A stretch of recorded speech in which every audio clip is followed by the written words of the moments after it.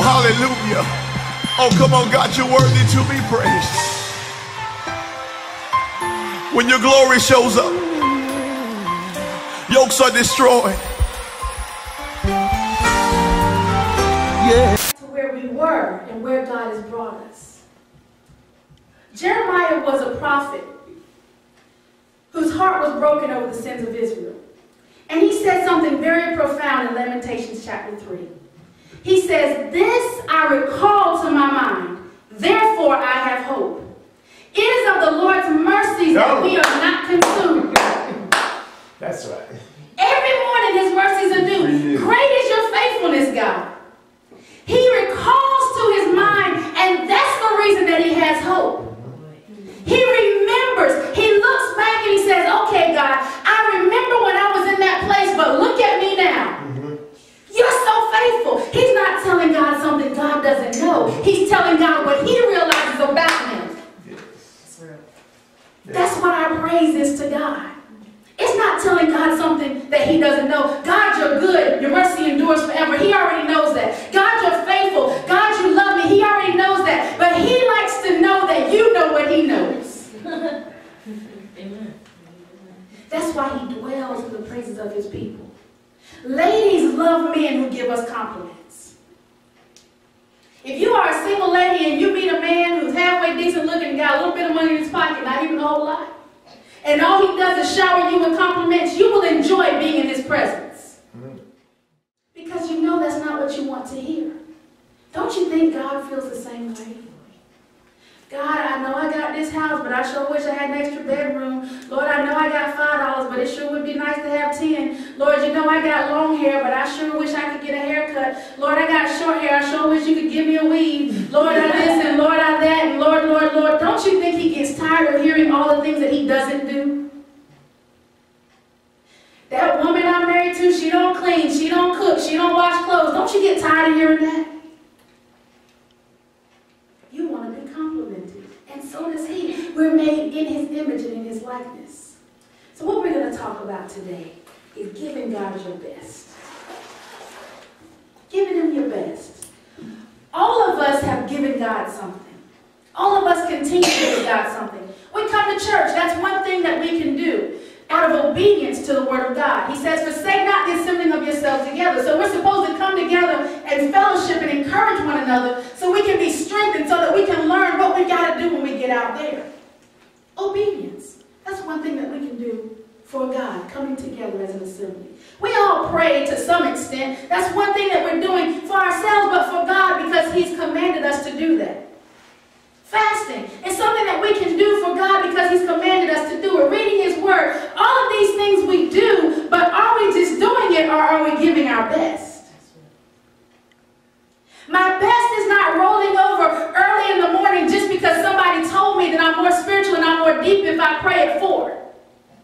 So I roll over with my sleepy self and mumble a couple of words and fall back to sleep and don't even remember what me and God talked about. Is that really my best? Is my 4 o'clock a.m. sacrifice deep or is it my best? Maybe I wait till late at night to study the word when my whole day is gone and now I'm tired and now I'm just I'm just barely holding on and I'm reading the word. Yes, I read my word, but is it my best? Am I doing just the minimal requirement? Or am I giving my best? God is not a credit card. He does not want the minimum required payment. If the bill is $1,200, God does not want $30 a month. He wants your 1,200 with interest. Even when it comes to our weeks, there was a time, and actually still is, on every calendar, what day does the week start with? Sunday. Sunday is the first day of every week on our calendar. But the people of God, the saints, the saved folks, have made it the last day. Think about how you look at your week.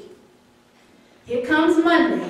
Monday starts everything all over again. This is our mindset. So I'm going to work Monday through Friday, then Saturday I'm going to rest, and Sunday is church, and after church I dread Monday because that's the start of my new week. We have completely taken away the fact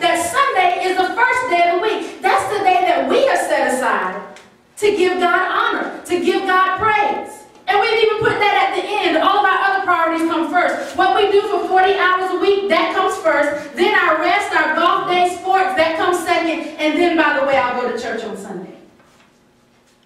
What if we could just change the way that we look at things and make this the beginning of our week?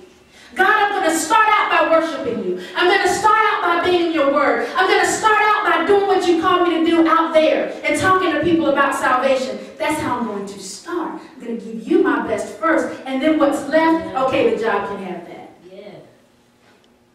When was the last time you went to work and you were tired because you stayed up too late praying?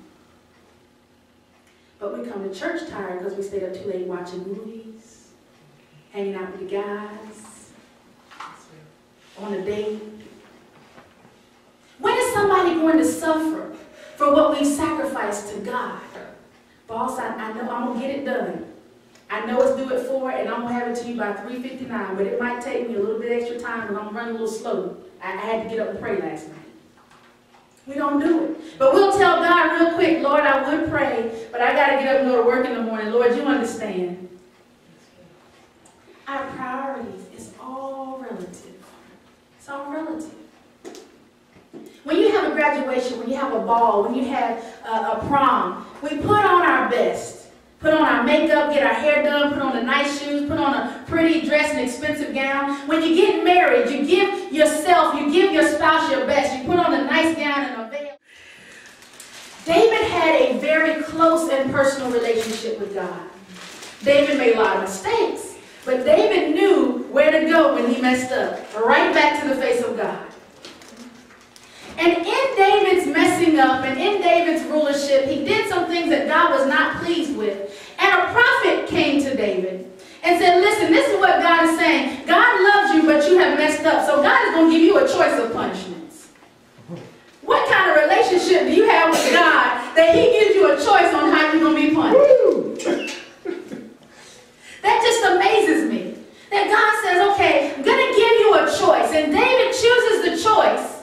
And when he chooses a choice, he realizes that the people are suffering because he messed up.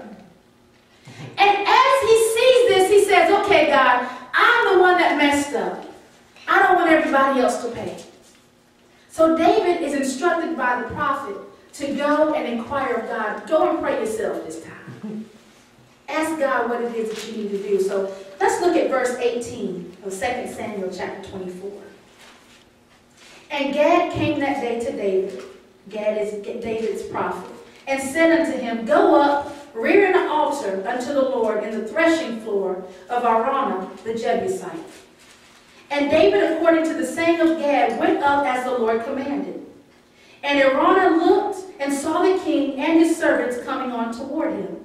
And Araunah went out and bowed himself before the king on his face upon the earth. So this man who's a Jebusite recognizes that David is the king. He recognizes that he is to give him honor and he bows himself before him. He knows that there's royalty in his midst and he's immediately humbled. And then in verse 21, Araunah said, Wherefore is my lord the king come to his servant? Why are you here? And David said, To buy the threshing floor of thee, to build an altar unto the Lord, that the plague may be stayed from the people. So David says to him, I'm coming to buy your threshing floor so I can build an altar. Because I need to pray to God and I need to offer sacrifices so that he will stop the plague that is killing my people. So in verse 22, Araunah says to David, Let my lord the king take and offer up what seems good to him.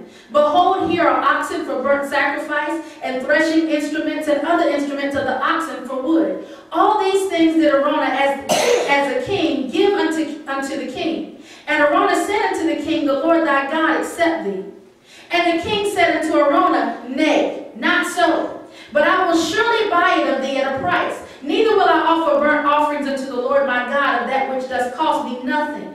So David bought the threshing floor and the oxen for fifty shekels of silver.